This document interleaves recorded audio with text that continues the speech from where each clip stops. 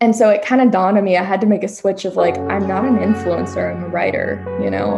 I, I would like to be an artist. I want to make things that I will be proud of long term. Like, look at Rumi and Hafiz. Like, those poems have lasted since 1250. Creating something that is that honest, where it lasts through so many generations. You know, I'm not saying I'll do that, but I'm just saying, like, that is something that I would far rather aspire to versus like having 15 million on TikTok. Welcome, everyone, to another mind and heart opening conversation on Just Tap In. I'm your host, Emilio, and today I'm introducing someone who is truly leading from a place of honesty and empathy. Allie Michelle is a two time best selling poet known for her transformative works, explorations of a cosmic soul, and a rose that blooms in the night. She is a healer who hosts yoga, breathwork, meditation, and artistry retreats all around the world. Through the written word, she is inspiring others to find the strength that it takes to be soft and strong and leads people back into her heart. Most recently, Allie has teamed up with the American model Alexis Ren as co founder of We Are Warriors in order to bring female leadership to the NFT and crypto space. After building a huge social media following and traveling the world and eventually coming across creator burnout, realizing that that lifestyle was not truly fulfilling her, she is now focused on creating work that will leave a long lasting impact on the generations to come. She is now in the process of writing her first fantasy book, The Legends of Lemuria, so stay tuned for that when it's released. If you guys love the conversations that we're having, I invite you to drop a like on this video and don't forget to subscribe to this channel to keep getting the best ideas in human transformation. And without further ado, get ready to step into your true creative power with Allie Michelle.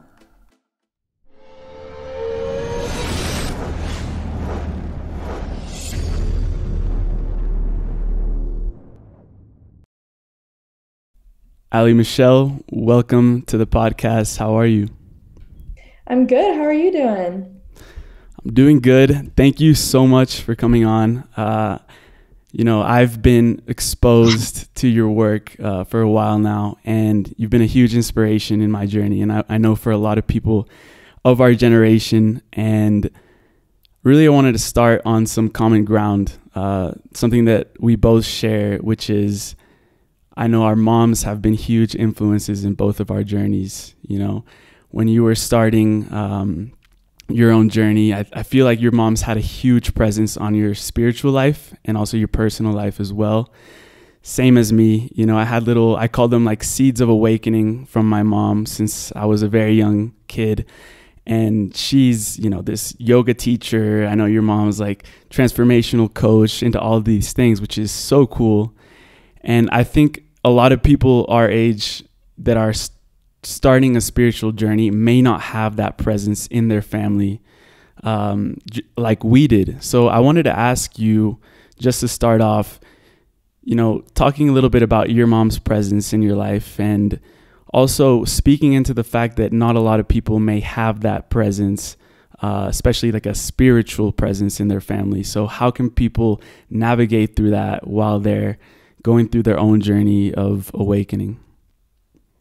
Yeah, absolutely. I mean, first of all, that's incredible that you've had that relationship with your mom as well. Yeah. Um, it's really it's something that we're missing in our modern day culture, like particularly Western culture, is elders. Um, mm. You know, we kind of treat them like they're disposable, stuff them in retirement homes and call it a day. But it's yeah, like yeah. there's so much wisdom. You know, it's very easy to read like an Eckhart Tolle book or The Alchemist or whatever it may be, and then like okay i have all this knowledge but it ha- doesn't come and sink into your bones. That really just comes from life experience and having people around you that are able to counsel you in that regard. It's a huge gift. Um, my mom like personally she's always been an artist. So we grew up in this house and whenever i was angry or upset she'd have me like splatter paint all over the walls and like really just taught me how to express my emotions through art. Um, but for us it's like I don't know if you've seen Gilmore Girls, but we kind of have that relationship where we're best friends and mm. we woke up, if you will, at the same time. Oh, really? Like we just started like laying on the floor and meditating together when I was like 12 years old. So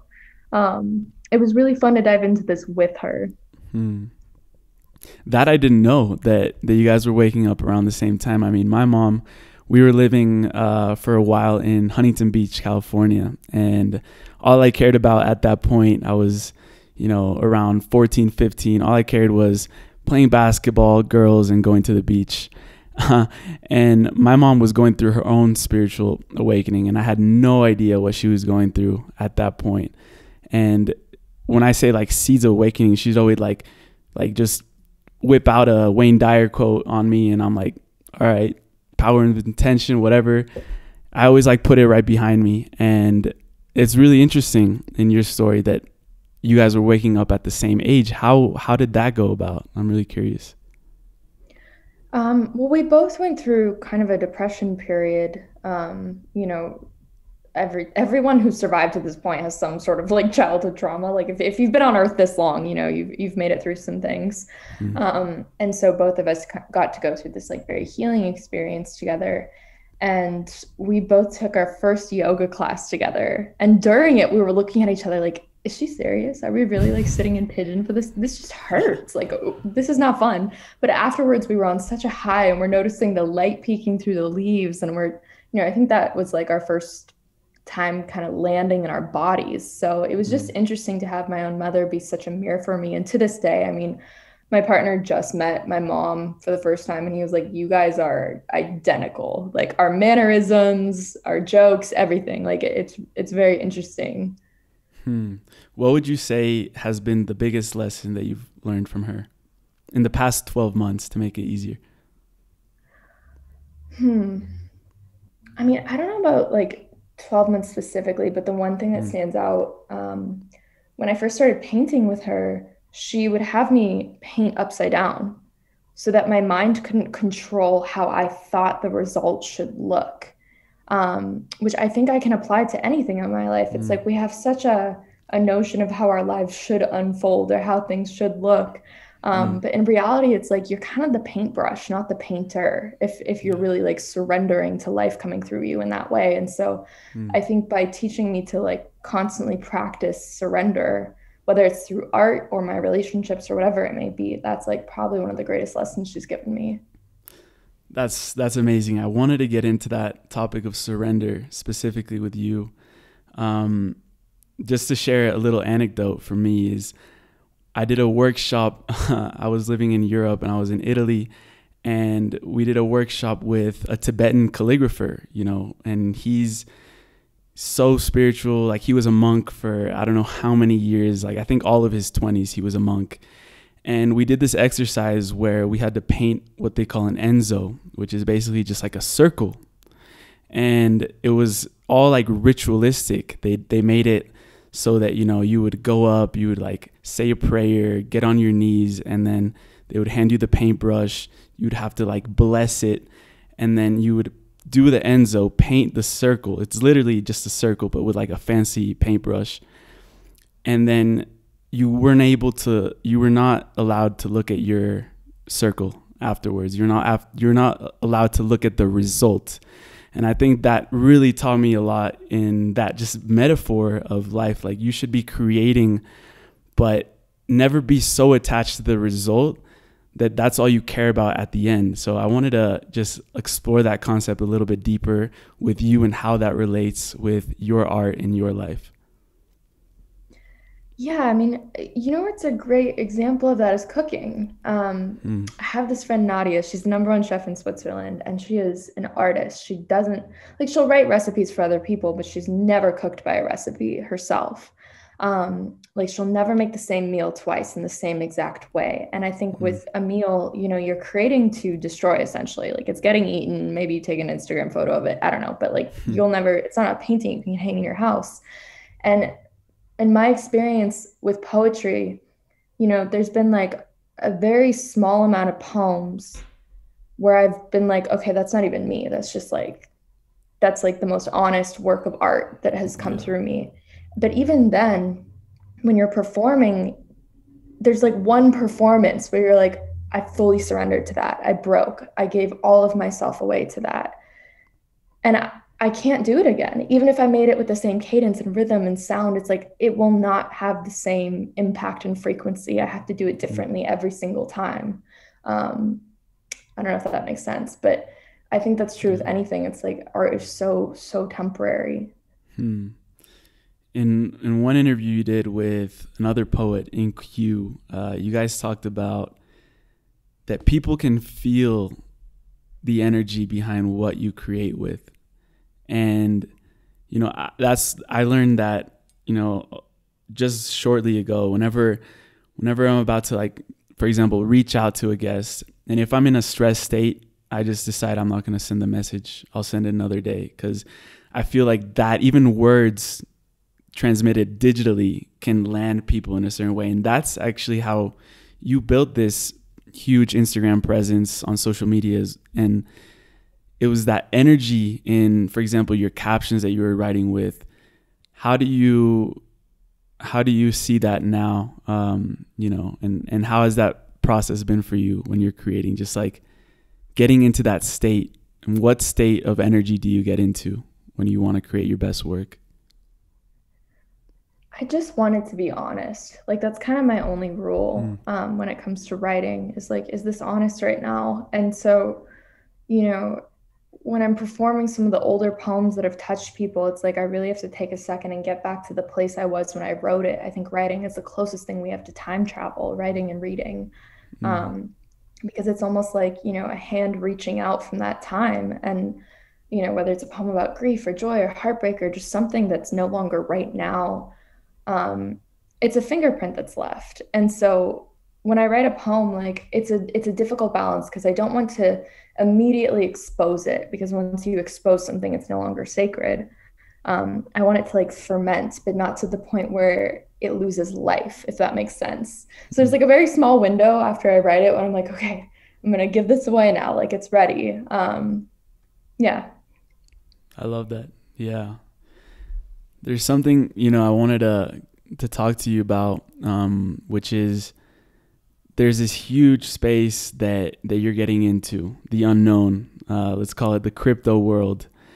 Um, and I haven't heard you talk about it too publicly. Um, and I wanted just to get into that. How did you get into this this space of the metaverse and NFTs, crypto? I feel like giving people a little intro of what that actually means um, from someone who's like really delved deep into it could be helpful.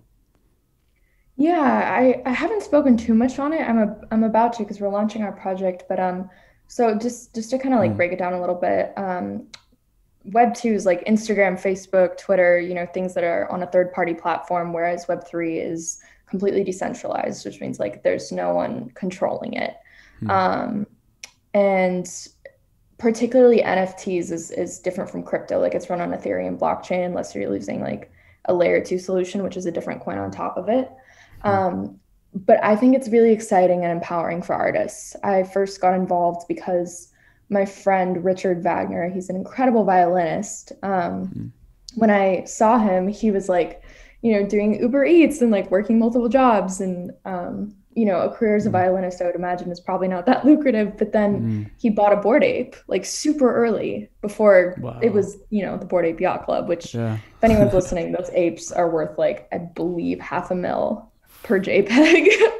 Um, at least, give, give, or take. At least, yeah, like that's yeah. that's probably like the lowest price. Mm. Um, and I saw him like become a part of this community, you know. And and every time I talk to him, he's so excited and alive and inspired. And so I went down this whole rabbit hole, and I'm seeing like my painter friends no longer need art galleries. My writer friends no longer need publishers. Musicians no longer, you know, need Spotify. And so mm or the record labels like for artists who one were rarely compensated properly for their craft and also didn't necessarily have the freedom to make exactly what they wanted how they wanted to and release it in the time they wanted all of a sudden like it's very empowering. That is to say like it is the wild wild west hmm. um, and no one really knows what's going on fully because it's so new. So you know enter at your own risk if you will but it's definitely a very exciting time it is. It is for sure. And you know, I I heard of it. You know, a while ago. There was a lot of resistance because it's a huge space. Um, and especially you know I wanted to just ask, like, as a poet, what do you, where do you think you can go in that direction of where you can take the use of this technology and really leverage it to your art in specific? You know, I think it's so exciting because, like, I know that there is a concern with the metaverse being desensitizing, but I would actually argue that it is far less desensitizing than Instagram because hmm. there's not a constant requirement to be putting out art that's going to disappear in 24 hours. Like there's not really this creator burnout, if you will. You know, yeah. the NFT space, yeah. you put out a project when you're ready. And if you're entering the space, I think it's important to like understand it, support other projects that you really believe in before putting out your own. Um, mm-hmm. But for example, I'm writing a fantasy book right now, and it's exciting because, like, imagine if there were 10,000 uniquely generated covers of Harry Potter and you owned one of those unique covers you know and within those books there's like a special author note from jk rowling that only mm. you have for buying that um, you know or you own the rights to one page from harry potter things like mm. that um, you can also turn it into like a whole metaverse game um, like imagine having an avatar world it's just kind of endless opportunity so as an artist i'm really excited because one i don't feel the pressure of burnout and I can work on projects that are very meaningful and a lot more long term versus instant gratification based. Hmm. I want to help people understand this creator burnout that you just mentioned. Um, you know, I've I've heard of it recently described as like you're you're in this game and your content doesn't last more than a couple hours in, in terms of like relevancy and how much the algorithm shows it to other people. Have you ever gone through this specific creator burnout how did you get through that and how how has that experience been for you yeah i mean i got into instagram eight years ago yeah. um so it's become very difficult to upkeep like i think at first i was playing the game and doing the whole like travel around the world like take a photo with the follow me anywhere hand and a girl's butt with a sun emoji like but um you quickly Going realize like bali okay, out here yeah, we're in Bali and Tahiti. There's some blue ass water. Um, um, but it's a very, it's like fast food, you know. It's just mm. at first you're like, oh, this is this is gonna be great, and then you're like, I feel sick. Like I feel empty yeah. and sick now. Um, and so it kind of dawned on me I had to make a switch of like, I'm not an influencer. I'm a writer. You know, mm. I, I would like to be an artist. I want to make things that I will be proud of long term. Like, look at Rumi and Hafiz. Like, those yeah. poems have lasted since 1250. Creating something that is that honest, where it lasts through so many generations. You know, I'm not saying I'll do that, but I'm just saying, like, that is something that I would far rather aspire to versus like having 15 million on TikTok. Yeah. Yeah. That's so key that you said that. I want to highlight that because we become so focused on the numbers and, you know, oh, I'm about to reach 10K and let's go. Like, I'm gonna do a massive celebration at my crib, invite all my friends when I get there. But it's like, where are you headed? You know, where where are you going? What do you want to leave behind? Um, I don't remember the exact quote, but I heard Gary Vee once say, like, you know, it's not about, you know, the numbers or the followers. It's about the legacy that you leave behind. And I like to ask, you know, at such a young age, you're building a legacy already. I want to know what you feel is that legacy that you're that you're leaving for the next generations. You know, I just I feel like it's a very apathetic world.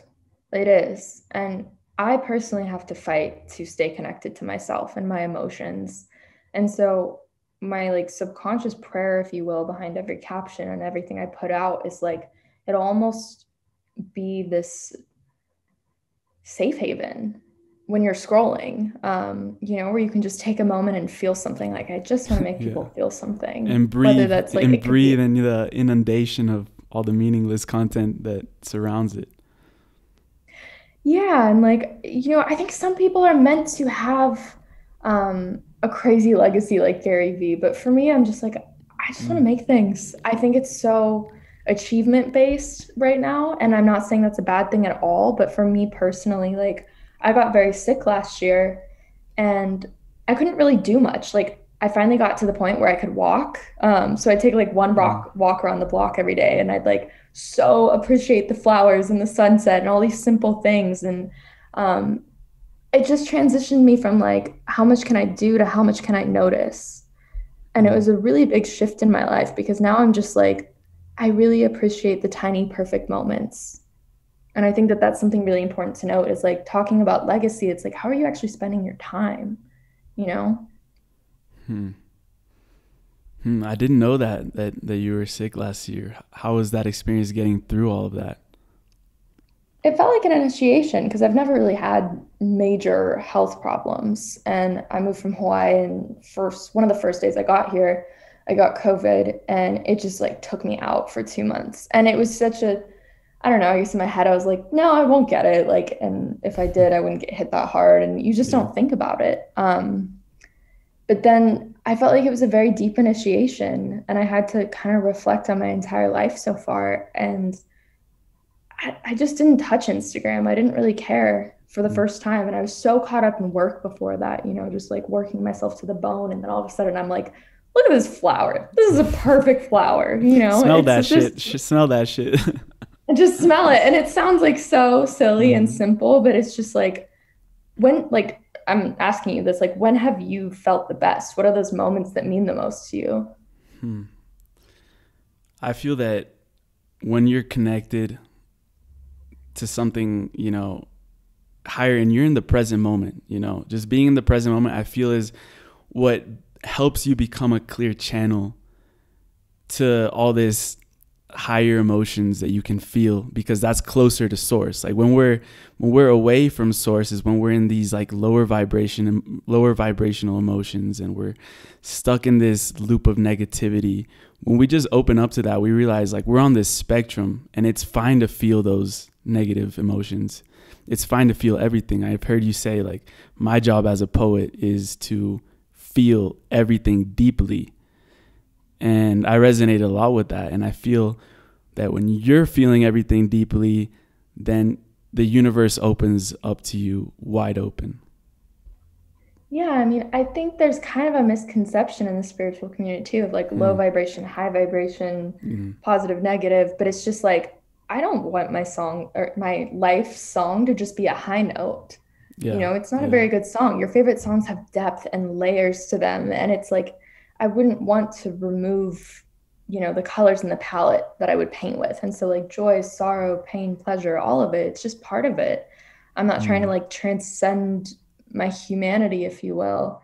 Um, and I think it's just like when we feel disconnected, it's okay. Like I think I have a tendency to make myself feel wrong when I'm just like, why do I feel this way? Everything's so good. I have so much to be grateful for. But I don't want to bypass the pain either because it's like, okay, what are you here to teach me? There's a natural intelligence to my body. Mm. Yeah, yeah. Yeah, I'd love to talk about that process of alchemy that I've heard you speak a lot about. Like, if, because I understand and I feel that completely that we have to feel every spectrum. But at some point, I feel like if there are these painful emotions or maybe feelings that are coming from a fearful aspect of our personality how do you transmute that and you know turn it into something that has more light or allows the light to crack in? I would say like that comes from my childhood like i was saying with my mom of, of how she'd have me paint when i was angry and like splatter it at the walls or things like that it's like you know i'll feel it but I think all the honest art I've made that has touched people has come out of necessity, you know, where it's like, uh, this is the only thing I feel like I can do in this moment is put pen to paper right now. Like, I, I think that is something I'd really like to say is important is I've never written something for the world. Like, I don't sit there and think like, ah, oh, I bet, I bet this will like mean this to these people. It's like, yeah. ironically with poetry, if it's so personal, it'll relate to everyone because we're human, you know, we're going through similar experiences, even though they're different stories. Hmm. Yeah, and then we're we're reflections for other people as well. And I feel like the power in poetry and writing is that, you know, words are universal in the way that, you know, it can even tr- transpass language in just a specific word because put together it creates meaning it creates emotion in people. Um, and i've heard you say also about your second poetry book the rose that blooms in the night. That that was that was written from the heart and the first book was written from the head. And i was really curious about that and i i read you know some aspects of both and I definitely resonate with that. You know, I felt that that second poetry book was, you know, it hit deep on some levels um, for me as well. Like, I'll read you maybe some quotes that I that I resonated with. Um, but walk me through your process with going from writing from the head and then writing from the center of our chest, writing from that from that energetic center, the heart. You know, I think it's just it's knowing you're safe to come from your head to your heart. Like we're a very heady culture. I think that's why embodiment practices like dance and yoga are so good because it's like it's very easy to just be like a brain and then you're using your body as the sticks that hold up your brain. Um, mm-hmm. But circling back to the very beginning of this podcast, it's what I was saying like you can have knowledge, but it's not wisdom until it's lived in your bones. And I think that, you know, I wrote that first book when I was 18 so I was super young. I hadn't quite lived the things that I was talking about yet. I was just like, well, this sounds right. Mm, um, mm. And that was kind of my mm. first experience with poetry. And then the rose, you know, it's like, okay, like I, I moved across the ocean, like had my first heartbreak, you know, some, I experienced some grief. Like I got a little seasoning on my soul. Um, but even now, looking back at the rose, I'm just like, okay, that was a different person um because i have my third collection coming out next year. So it's just like i think as an artist and i know like In-Q a lot of other people i know feel this way. It's hard to read some of your past stuff because you're just like i've already grown so much from this. And so i think it not getting frustrated with like where you were and just appreciating the entire thing because it's all just sculpting your soul. It's all making you a better artist. And the best thing you can do as a writer is just not deny any experience like welcome all of it Hmm. Yeah, and also letting it letting it marinate. I've I've heard you use that word as well, like marinating that knowledge that that you just learned, for example. And I feel like sometimes I hesitate a lot too. Um, you know, if I want to put out, you know, a video talking about X thing, and I don't feel like I've lived it, it's like there's this huge resistance because it's coming from from the head. It's coming from the head and it doesn't feel authentic. It doesn't feel real in a way. Yeah, and I will say this like especially in the new age community, it, it takes a lot to actually like speak from your soul, like speak from your own experience instead of paraphrasing and I'll say this like yo- yoga's a good example, right? Like if you go to a yoga class and, you know, a teacher is quoting the Buddha, it's like, okay, that sounds nice. But if they're sharing a life experience that they just went to that you can relate to, it just hits differently. Um, you know, because it's not it's not some like faraway monk from thousands of years ago, not to like disrespect the Buddha. Obviously, the Buddha's great. Um, but if someone can like somehow apply those yoga principles to sitting in traffic, to losing your job, like to these normal everyday human experiences it's a lot more relatable. And i think like as an artist your job is to relate to everyone else without trying but just by being honest with your own experiences. Hmm.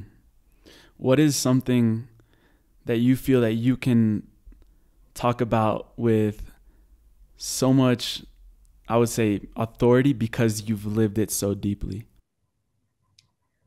That's a good question. I mean I look at it like a spiral, right? So, love, relationship, grief, loss, um, you know, consciousness, all these practices, poetry. Mm. I could have talked about all of this years ago, but it was like the outer ring of a spiral. And every every day I'm going through these things that allow it to go deeper and deeper and closer to the center. So I can't really be like, oh, I've mastered this one subject, but I can say like as the years go by, if I'm consciously moving through my breakdowns, like completely aware and like, okay, this is my classroom, this moment is my curriculum, like I'm I'm going to leverage this and learn from it somehow. You know, I think paying very close attention to what life is revealing to you in that moment is really important. Hmm. Yeah. Yeah. For me, I would say, you know, I've been, you know, living through this period of just opening my heart. And, you know, I had also this tough breakup um, about a year ago. And, you know, it's something that you always keep to yourself and you don't and you don't want anyone to really look at that that pain that you're going through. So you just put on a mask. And i read one of the quotes in in the rose that blooms the night that actually you know i wrote it down here. It says for those with an open heart can never be broken so that's so powerful you know just living life with a closed heart i think or i feel that it just closes you off from so many opportunities, so many people that you can meet, so many aspects about yourself. You know, I think an open heart just allows you to go within. That's the main concept uh, of this podcast. Just tap in is really, really internalizing everything. You know, learning to see everything in the outside, these painful experiences, and then go within and be like, all right, what is that? What is that a reflection of within me? everything outside is reflecting back to me who I am. And when I had that paradigm shift, I was like, okay, now I don't see these situations as, you know, oh, this just happened to me or whatever. It's like, oh, let me just tap in and see what what inside there caused that or reflected or projected that to come into my reality. Yeah, and sometimes you don't know why. Like, I think it's mm. also important that it's okay not to know why. Um, and really, it's like, this is why I love breath work because the experiences you're talking about with heartbreak, it's like, yeah, just keep your heart open. It's, it's a very difficult thing to do, actually, after you've yeah. gotten drop kicked like that. Um, so I think it's like consciously not bracing for impact in those moments. Like when you want to contract, when you want to tense, it's like, how can I? how can I soften? How can I let go? You know, like mm. if a drunk driver gets in an accident, the drunk person is the least injured one because their muscles are relaxed. Whereas when they're tense and tough, the bones break far easier and there's a lot more damage. So if it's possible to soften and remain calm and use your breath as a tool in those moments, like my breath is my greatest tool. It's the one thing that I always have on me. And there's nothing in life you can't breathe through, right? So I think like having these tools in your back pocket are very important, whether that's art, whether that's breath work or yoga or whatever it may be. Like there's not really one specific way, but it's like we all kind of need ways to move through this experience because life is immeasurably hard and beautiful. It's all of it, right? Hmm. Yeah, breath work. I love that you said that. That's been a huge tool that you know I, I recommend people to explore deeper. It's like, but you're just breathing. What do you what do you mean? Like I feel like we don't we never get taught how to breathe, which sounds weird just saying that out loud, but it's like we don't we don't get taught to, to breathe. Um, and also with the breath is this huge metaphor for life as well. And one teacher of mine, he explained it as like this three step process. Like you're you have the inhale. People think, all right, yeah, inhale, exhale, inhale, exhale, but there's this hold that kind of bridges those two. You know, when you're inhaling, it's like that feminine, you're you're receiving. And if you're receiving way too much, there's disharmony within you. You're you're gonna explode. Like if you just keep breathing in oxygen, you're gonna die. Um, the same as if you're just exhaling, exhaling, exhaling.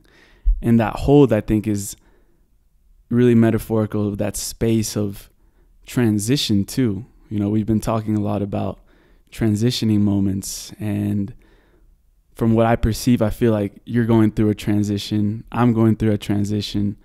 Um, what can you speak into these transitory states when we're not in the known world, but we're kind of headed into the new world, which is also where humanity is right now. So, how has that transitioning been for you? I mean, life is an in between, and the in between is like a very a sacred place to be. But it's like, I don't know. I think there, there's those two opposing, very deep human desires of freedom and security. Mm. And it's why people like want a nine to five so they have financial security, but then like a part of them feels like they're dying because they want freedom. Mm. And so it's like very easy when you're in an in between to just like run and leap and try and find the next chapter of like, oh, this is my new partner, this is my new job, this is what I'm doing now. Like, you know, you want to have a sure answer when someone says, oh, who are you? What do you do? Oh, and I don't know has become kind of an inexcusable answer, but it's like no one really knows. Like we're all kind of uncertain and a little lost inside because things are changing moment to moment. But I think like longing and loneliness are two very essential ingredients to our humanity. It's very humbling. And to be humble isn't like, oh, I'm nothing. It's like, no, I have the confidence to be nothing in a world that is constantly trying to tell me I have to be something. Hmm.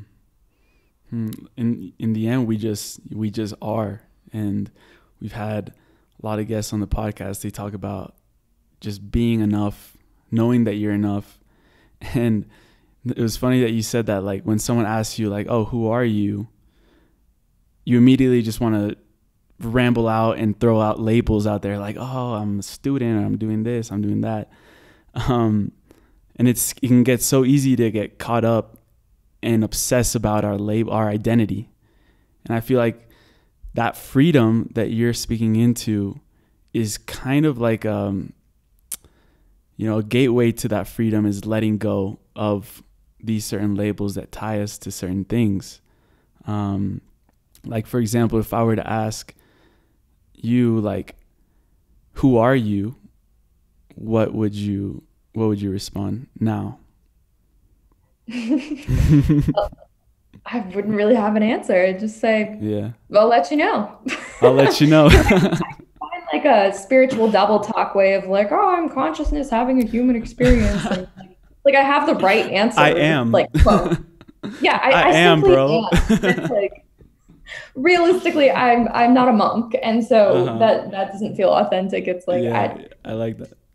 Yeah, it's just always evolving. I I feel it when I'm meditating. I feel it when I do breath work. I feel it mm. when I'm creating. It's like there is a part of me that feels eternal. There's a part of me that feels like it's hasn't been born and can never die. But that part is like I have to consciously work to access that. And I know that that's, you know, a place that resides in all of us, but talk about heaven and hell, it's like that's in your body.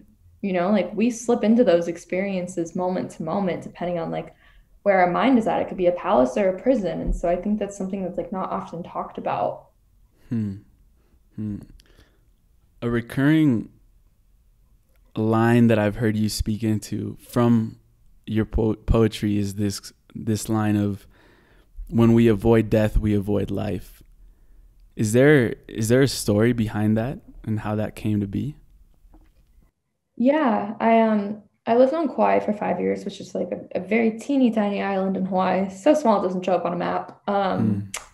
it, it's a fascinating place. It's very mystical, very different than LA where I grew up. Hmm. And this last time around, about a year ago, um, I met a woman named Kelly, and she got funding to start a end of life care center and a birth care center. So there were these natural spring pools that women could come and give birth in. And there were like Hawaiian elders there that would kind of assist and walk you through it.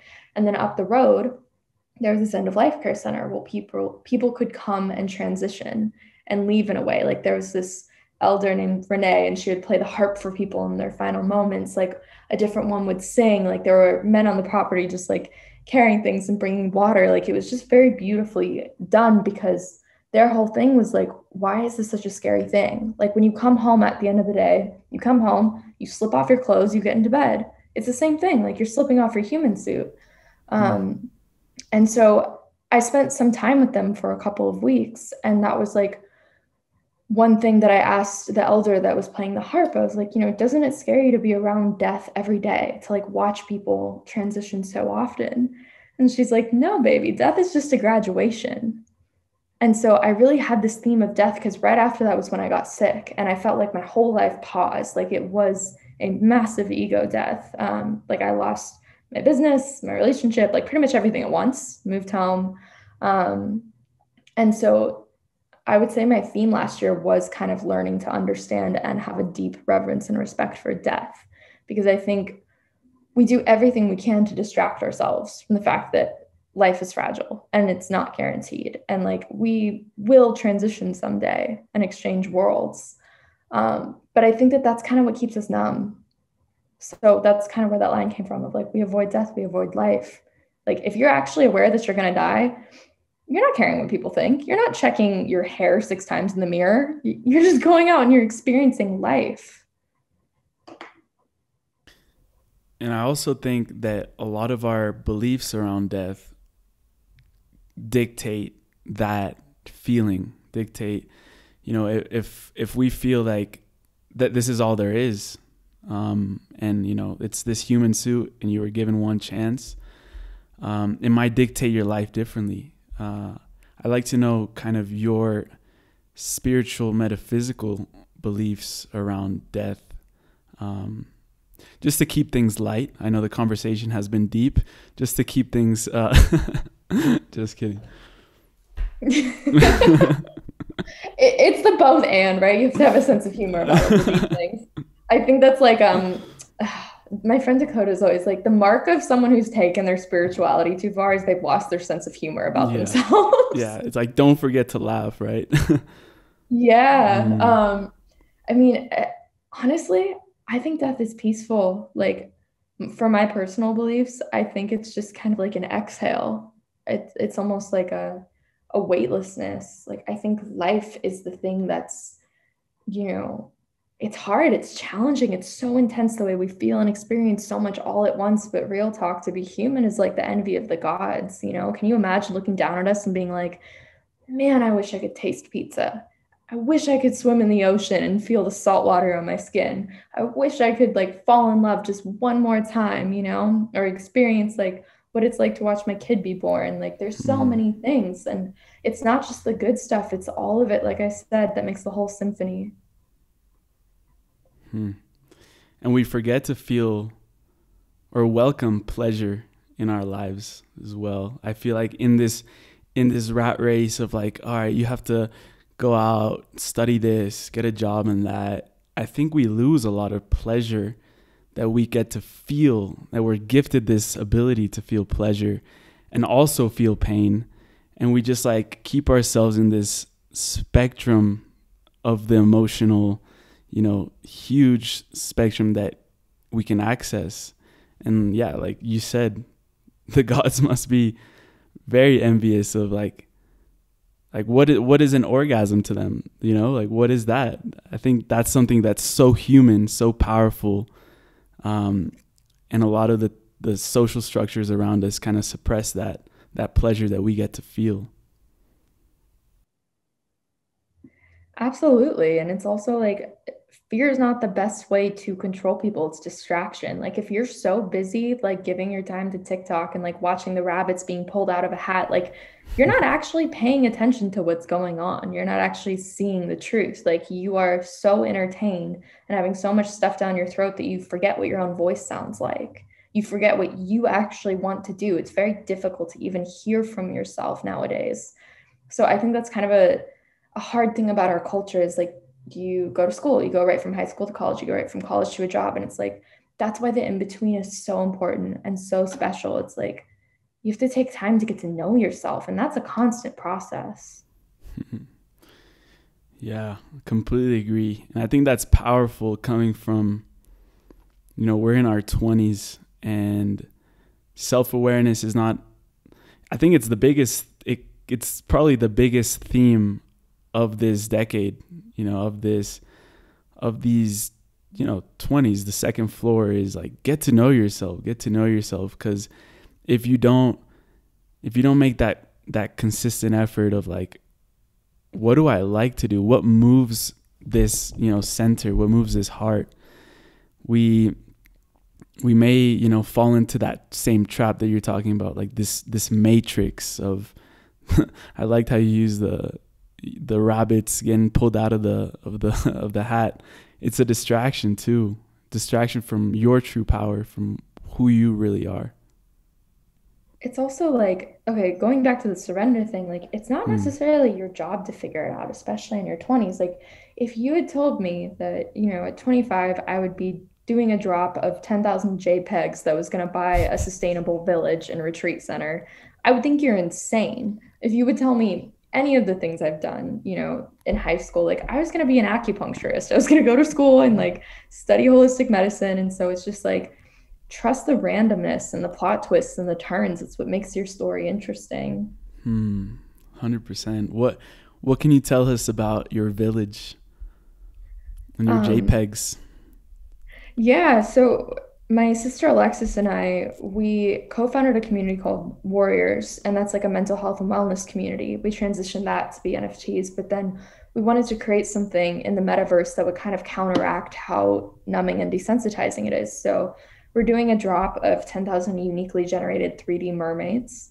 Um, and there are a few intentions with that. One is to onboard more women into the NFT space because only 5% of sales are women right now, which is like wow. nuts. Um, it's incredibly low and mm. so we're just trying to like educate. So there will be an educational aspect to it like breaking down okay how do i set up my MetaMask? What even is a MetaMask? Um, but then the profits from the the drop will go towards purchasing a bunch of acres outside of texas like in a very nature part and we have an architect who can make a completely sustainable village. Like the water from the houses are going to flow into the garden um, and that way we can have like a holistic health mental health and wellness retreat center so that as you feel numb and you need to come home to yourself, it's like, hey, just go there for a week. Like you got the JPEG, you have access, have fun. That's fucking dope. I just needed to say that. Thank you. That's amazing. That's amazing. And just to go off that, yeah, mm, what does what does being a warrior mean to you? You know, I think for me, what I'm noticing within myself, at least, is this mental wobbling that's happening nowadays, where it's like, you know, should I do this? Should I do that? Like, vaccinated, not vaccinated? Should I like do this job or that? It's just like there's so much counteractive information. I could Google anything and find like evidence to support my argument on both sides. And so it's mm-hmm. very difficult to actually know the way. And I think what we're attracted to most in people now is someone who's sure, like for better or for worse, you know, um, when someone's like sure and confident within themselves, it's like you trust them, you feel safe around them. And so I think like right now, I'm like, no, I need to have my instincts be rock solid if I'm going to remain soft in this world. Because if you're soft inside and outside, it's like you can be tipped any which way. You can be convinced of anything. You can be gaslit to believe anything. And that is kind of a dangerous thing in the spiritual community is like you can double talk yourself into anything and say, like, oh, my abusive relationship was fine because like I learned from it, but it's like you still went through that. Um, mm. So I think having like a really healthy sense of discernment is essential. Mm. Yeah, we've talked about discernment in other in, the, in other episodes, and it's also I heard you because we think of a warrior, and we think of this you know muscular man with you know kilos of pounds of uh, armor on him, and I've heard you speak into that armor. And what what does that what does that do for us? This armor. You know, I think our task is not to suit up for battle; it's to strip down.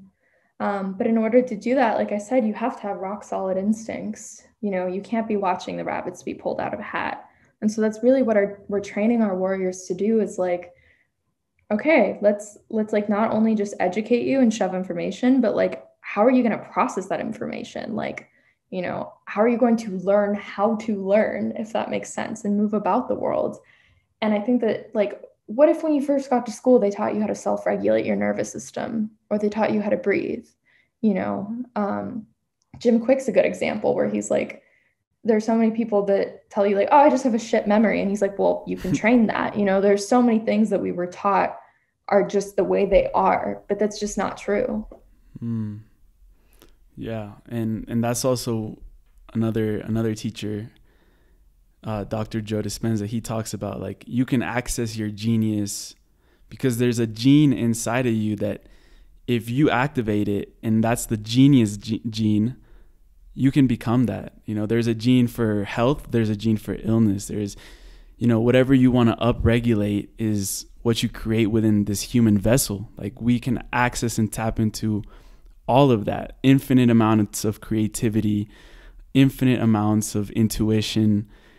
And that's really this new human that's emerging uh, in the world right now. I feel that a lot of us, you know, younger generations are waking up to these capabilities and we think there's something wrong with us. I know in your story you you were labeled as you had ADD and you were, you know, had to shut all that creativity down and take Adderall, Ritalin, and all these medications to suppress that. But I think we sometimes have to embrace that, you know, we're not going to be just like the older generations or like our parents. Like we're tapping into so many new capabilities uh, as human beings that we're going to create. We're literally essentially creating a, a, new species as well. Yeah, and like Joe Dispenza's work is a fantastic example. I mean, some of the most incredible experiences I've had have been in his meditations. Um, especially like being sick, I was like, okay, I have to be my own doctor because I had a friend who had a same time as me went to the hospital. They gave him Tylenol and sent him home and charged him like, you know, a lot. So it's important that like no one is going to tell you the way. No one's going to come and save you. Like you're it. You you can have helping hands along the way, but it's like only you can really direct your course. Hmm. hmm. Allie, I wanted to open a space to share some poetry uh, for people.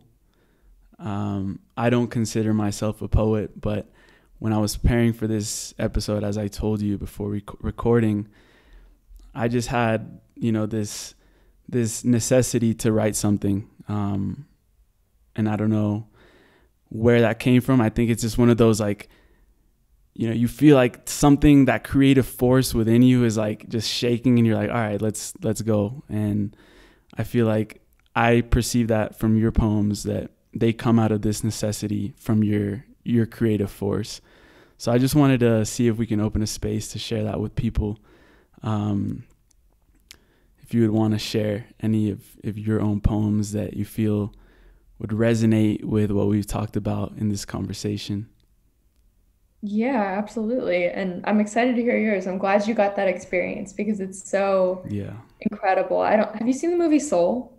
Of course. I love Soul. Yeah. Yeah. So you know when they are like in the zone, if you will, and they're going into another world almost, like that mm-hmm. that's how it feels. So that's like my wish for everyone. I'm like, yeah. whatever your art is, I hope you get to experience that. That flow state. Yeah, exactly. Mm-hmm. There you go. Um, would you like to go first? What would you mm, prefer? I would I would say that would be better. cool. All right. It has to do. All right. Well, you'll see. You'll see. I love that we got into the warrior because that's something that inspired this this piece. All right.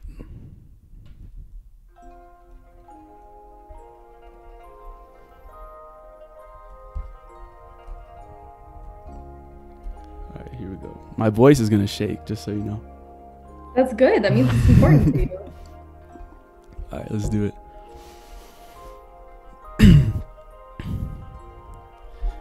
A pure heart ripples to a billion other hearts. But the overemphasis on the intellect led our species to a catastrophic restart. Within us all lies a warrior that still hears a silent yet potent beat in the center of their chest. A warrior that adapts to a culture that lives in their mind. The rest of society assures to themselves that this type of love is hard to find. Connecting in this center exalts the divinity that runs through our veins and embraces the mortality that remains. Let's awaken the slumbering giant that has the power to alchemize the darkness that the collective can no longer metabolize pulling back the curtains and pulling out sunglasses as their eyes begin to harmonize with the incoming waves of light. Humanity is ready for the birth of an army of conscious leaders to take flight. The power to transform reality lies in the cleverness in our head, which holds the map with the directions of the road ahead.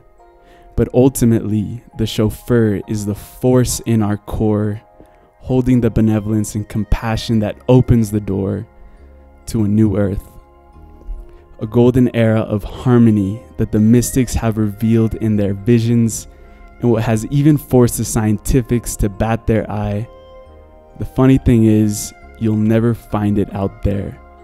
But if you dare to look behind all the illusions of fear created to separate this power from us, you'll reach the long awaited epiphany that that reality is already embedded in the symphony of your interior. Go within and find it. What are you waiting for? You are a warrior if you just tap in.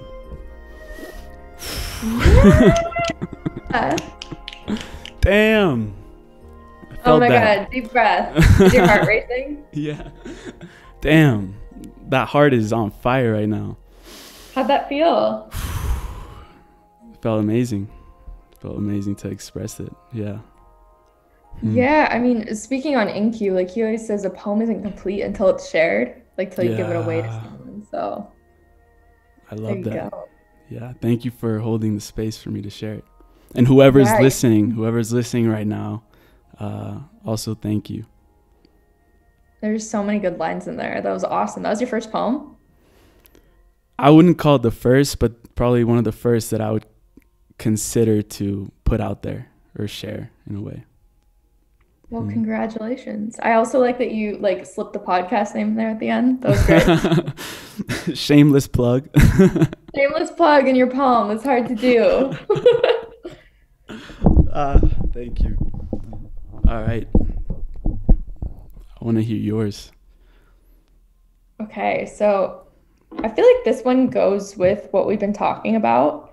Um, so last year I was in LA and it was my friend Christine's birthday and I was there and this woman her name's Mia Magic and she yeah, like shows her. up everywhere in a witch's hat and she's like drinking juice that she made in her garden you know like one of those one of those witchy people. Yeah. And she sits down across from me and you know she tells me talking about what do you do? She's an etymologist um, which is like the study of language and words and I made a joke and I was like, yeah, I'm super weird. Um, because like I, I'm kind of awkward when you first meet me and talk to me.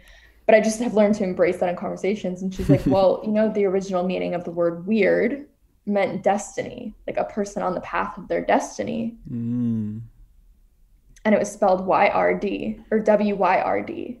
Um, and mafia meant a coven of women, like wise mother. So there's just like we sat there and I learned all these meanings wow. of different words. Like, isn't that fascinating? And words are spells, so I can see why she's practicing magic too. Exactly. Um, and when you meet a woman named Mia Magic in a witch's hat that tells you that weird is a good thing, you know, you, you feel pretty good about yourself. You're like, yeah. okay, I'm inspired now. Um, so that's where this poem came from. And awesome. by the way, like if you're if you're writing a poem, I think it's important to just get one true line, like one honest piece, and it's like a diving board. The rest of the poem will kind of write itself. Okay. The original meaning of the word weird, W Y R D, was destiny, meaning to be weird is to be one who follows the path of their destiny meaning that normal is a clear road that has already been paved. And when you're weird, no one else will show you the way. What is my destiny? I can't help but wonder what I'm even doing here sometimes. I go about my life on autopilot and forget that I'm alive. Is the point to work? To hustle for my purpose, check off that list of to dos so I don't feel worthless? Or is it to find the one? Fall in love, create a family until death decides to come? Or maybe it's to fight in the battleground of my mind at the past that tries to take hold of me, and I ignore the way my heart stops when I trip over my own thoughts at the sight of your name. I'll smile when I tell the story of how I transcended it all, how much it taught me, how I did enough ceremonies and wrote enough poems to walk on water wearing pristine robes. But nowadays, I think I'd rather wear a black cloak, so my shadow becomes my cape and everyone around me can embrace being gloriously human. That's right, gloriously human. They can love and dance and fuck and fight and smoke and eat and fall to their knees because my lungs were the very first thing that God kissed when I came into this world. So every inhale and exhale is a love story of purpose. So I hope you're weird like me, one who's on the path of their destiny. Okay, that's all. mm, wow. I felt that. destiny destiny is a topic wow that I've I really struggled with um not in a bad way just like the destiny like what what even what even is that and i felt like there's certain things in in my path that are like breadcrumbs that i would call them maybe synchronicities that you just say like hmm like that was that was already written or that was supposed to happen. So thank you for sharing that. I really loved that you tied in all these aspects that are so hard for us sometimes to understand, you know, and that being weird, being different, can lead you to your destiny. When we try to be the same, I think we block out our individual path that we're meant to be on. Yeah, I think like understanding your own unique language and spark. I had this conversation with my friend um, I went to dinner with Nadia, the chef, and my friend Dakota, who's an incredible dancer. And we were all talking about like, we each have a silent language, right? For Nadia, like she stops thinking when she's cooking. You know, that's that's her telephone to spirit, if you will. For Dakota, it's when he's dancing. Like they're accessing the same place doing very different things. For me, ironically, when I'm thinking the least is actually when I'm writing. You know, I'm seeing it in images. It's coming through me as its own force. I'm not like okay, I'm going to write this sentence now. It's like, no, I'm in a different place. And it's coming from such a sure, known, like that warrior place inside of me. So I think like being brave enough to try things and explore your language and also like being willing to be bad at it too. Like write some shitty poems, you know, look like an idiot when you dance. Like just constantly practice going up against that judge and perfectionist in your mind so that your art finally has room to breathe. Hmm. I agree with that. And Allie, I wanted to start uh, wrapping all this beautiful, beautiful conversation up. Um, firstly, asking you, you know, we have a final, what we call the final trio, which are really short, rapid fire questions that you can answer in any way that you want. It could be even up to one word. And first, I want to just ask where can people find you? Where would you direct people that want to connect with you further and any upcoming projects that you'd like people to get ready for? Yeah, um, I mean, you can find me for my poetry on Instagram. I have a couple books out. And then if you're interested in sirens and, and being part of the Eco Village, um, we're dropping that like the first week of May. And you can find that out on Twitter. It's just Allie Michelle and it'll come up as like Metascribe. Um, and then yeah, We Are Warriors is like the community that I teach weekly classes at as well. Hmm. Awesome.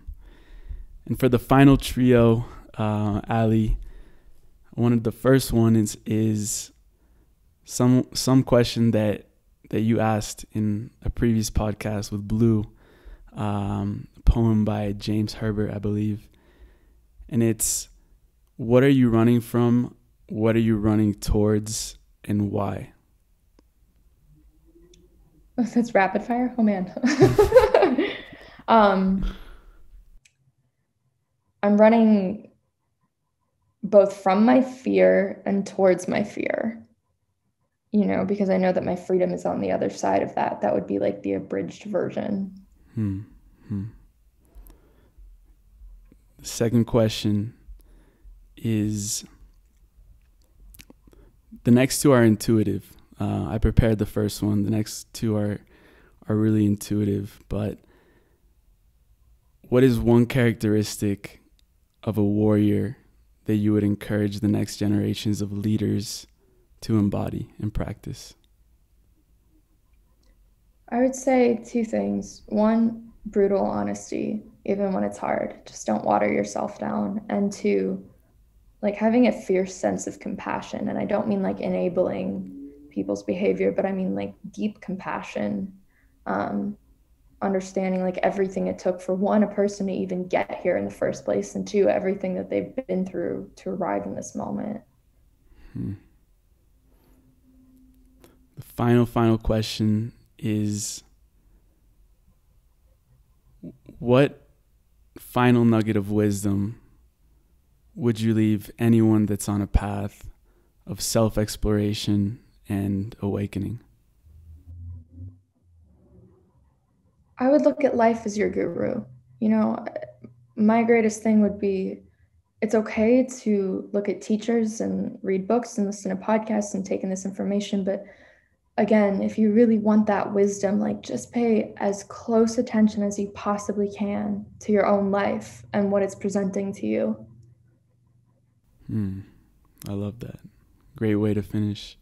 Allie, thank you so much. I just first wanted to acknowledge you for your work and all of the things that you've created in this world from your heart, you know, from this space of freedom and from this space of flow. You've really inspired me, and I know you'll inspire many, many, many, many more people to come. So, thank you for making the time for our audience and this conversation. Um, I wish you the best in you know all your future endeavors. I'll be supporting all the way, and I know our audience will be very eager to learn what you're going to be up to because uh, you're you're headed into the future with all these new technologies and spaces. So um, I just wanted to commend you for you know your wisdom, your intelligence, um, the way that you speak into things through your words, um, and and yeah, thank you, thank you so much for for all of this. Thank you. Thank you for creating a platform for other people to to use their voices and also for really honing in on your own. It, it's a gift. So, mm. thank you so much for having me. Of course.